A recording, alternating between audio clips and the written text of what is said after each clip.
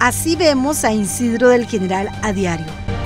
Y en medio de todo este movimiento nos encontramos varios establecimientos cerrados, puestos en alquiler y sin personas interesadas en emprender aquí. Nos afectó, igual a como muchos, ¿verdad?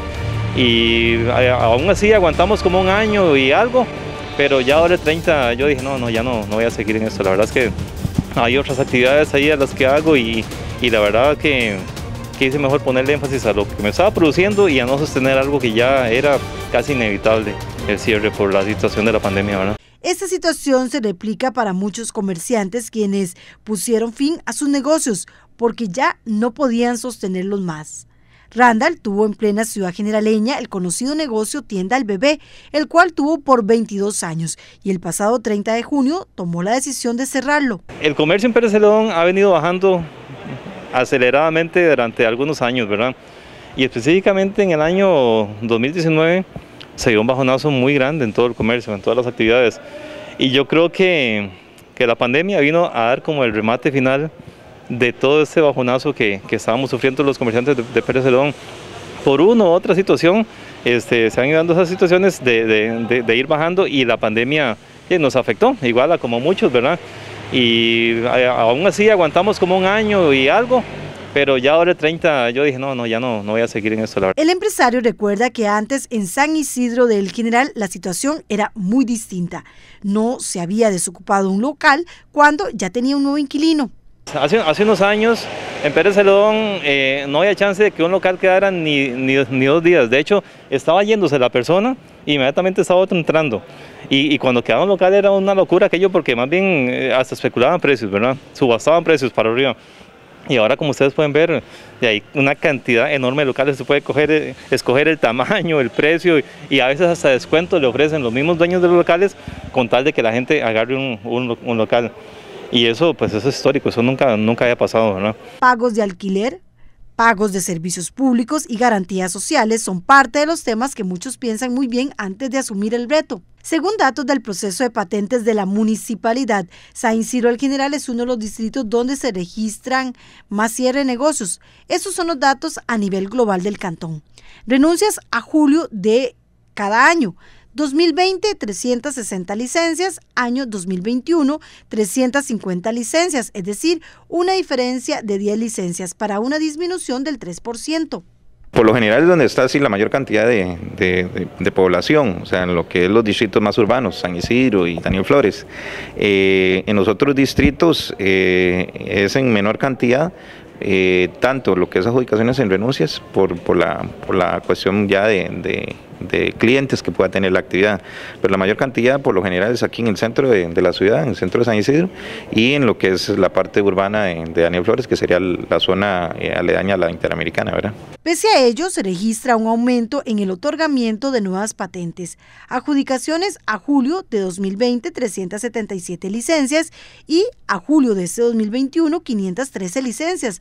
La diferencia de 136 licencias para un incremento del 36%. La tramitología de, nuevos negocios eh, ha venido en, en, en, constante crecimiento mes a mes de este 2021. Eh, claro está, en el 2020 llegó una paralización total de la parte comercial. Eh, que generó eh, que la, las gestiones que se presentaran igualmente no, no, fueran de la mayor cantidad o, la misma, o en la misma cantidad que, que en los años anteriores se presentaban. En este momento la municipalidad contabiliza unas 5.100 patentes en manos de unos 3.500 patentados.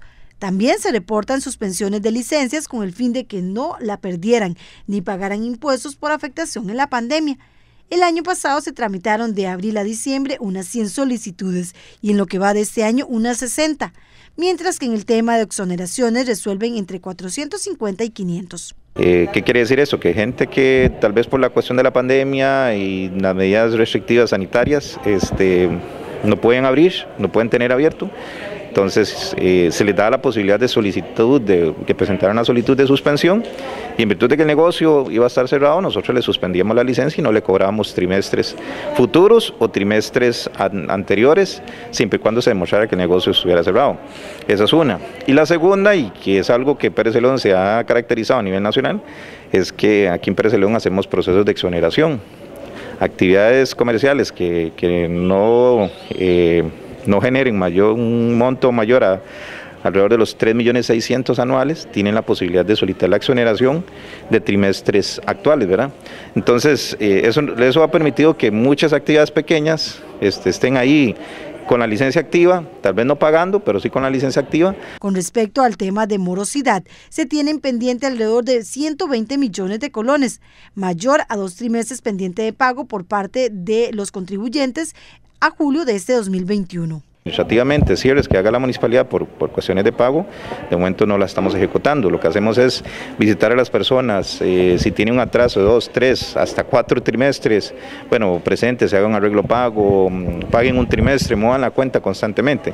De momento le puedo decir que desde el año pasado, desde el marzo del año pasado a la fecha, la municipalidad no ha hecho ningún acto de cierre por pendiente de cobro.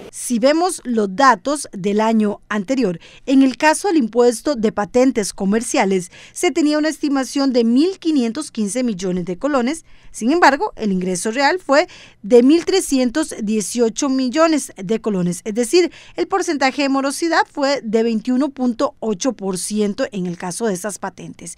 Si hablamos del impuesto de expendio de bebidas con contenido alcohólico, se estimaba 220 millones de colones y el ingreso real fue de 163 millones de colones, es decir, un porcentaje de morosidad de 32.1%. Esta es la situación que se maneja en Pérez Celedón.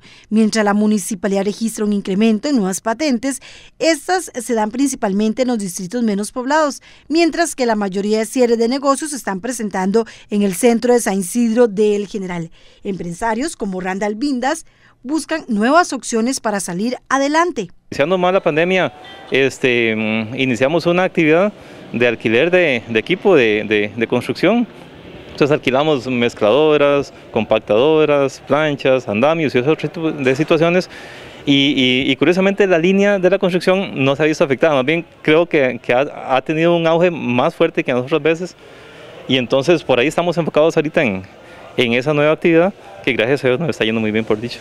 Como él mismo lo indica, es importante replantearse qué es lo que está pasando y no dejarse vencer. También una, una luz de esperanza para las personas que como yo en alguna forma han tenido que, que enfrentar un cierre de un negocio, pero también la esperanza de que hay otras oportunidades que se pueden hacer.